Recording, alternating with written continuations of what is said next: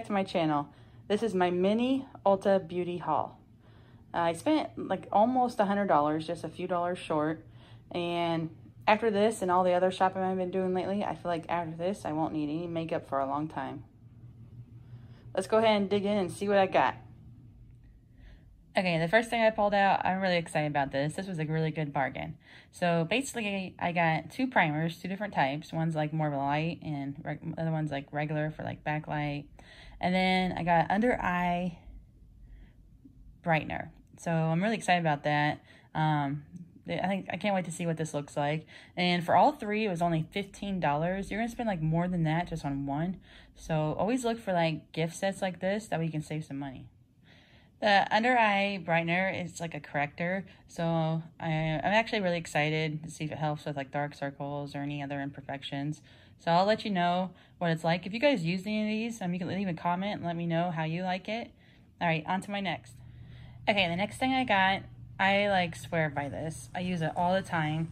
It is Root Pump Plus. I think they have Root Pump, but this I always get the Plus, and it's big, big sexy hair. And this stuff is amazing. So before I like blow dry my hair or anything, I'll spray a little at my roots, like at the crown of my head and stuff. And it just kind of gives you some more volume.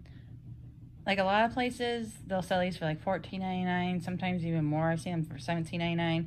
If they have like sales, they'll go down to like $11.99. Uh, you just gotta watch a sale, but it's really worth it. It lasts a long time too. The next thing I got was two more bottles of the Bedhead uh, Masterpiece. It's like a like a light spray. It says it adds shine, but I like it because it's light and you can just spray some and you don't have to worry about your hair being stiff or this or that. And I know I just bought like a bottle at Ross, but they only had one. And then, then I saw these were on a really good deal. So I like to stock up when it's at its lowest price I've ever seen. And then that way I don't have to buy it at a higher price because I've done that before and regretted it. So I'm excited about these finds. The next one, I'm like really excited. I've never had this before, so if you have, leave me a comment, tell me how you like it. So this will be my first time having it. Um, I like Smashbox, so I'm guessing it's gonna be okay. But it's Smashbox Super Fan Fanned Out Mascara, and I thought it would be pretty nice. So it says last 12 hour volume length and lift. So I'm excited to try that and see what it's like. Okay, this next one, I haven't tried this one yet either. I've had their other mascaras, but this is Tarte Maneater mascara. So I'm excited to try it, see what it's like compared to some of the others I've tried. I got a couple brands I really like, so it's hard to switch up when something works. But you also don't know until you try. So I'm excited to see. Uh, this might be my new favorite. I was really excited about this. I didn't really need it. I kind of did because I only have a certain amount of brushes for eyes and stuff. So I got Catch My Eye by Morphe, their eye brush set and six pieces. So I think this will help out so I can get better, different like variety. Because sometimes I'm like, oh, I wish this brush would do this. Or, you know, I only have a couple. Let me go ahead and open it up and see what kinds are inside. Okay, so far so good. Uh, I am really excited. I think these will be great. Uh, there's different types here. Uh, I think these are going to be good. Let me open up the actual package so I can see them better. Okay, I am so happy with this choice.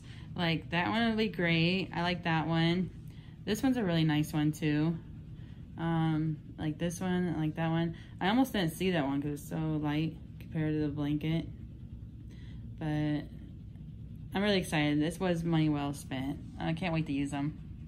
All right, well, thank you for coming to my channel. I hope you liked it.